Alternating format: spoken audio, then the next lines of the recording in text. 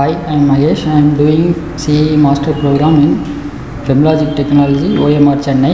Today, workshop has been conducted. In this workshop, they dis- uh, the workshop based on NVH analysis. In NVH analysis, they discuss about what is noise and vibration, harshness, and what are the sources of NVH and what are the types of NVH analysis in uh, like PSD analysis, FRF analysis, and modal analysis. Like after they explained one video uh, detail with uh, what is modal analysis and uh, FRF analysis, and uh, also discussed about uh, NVH why it taken and uh, important what is the important role in the NVH in the automobiles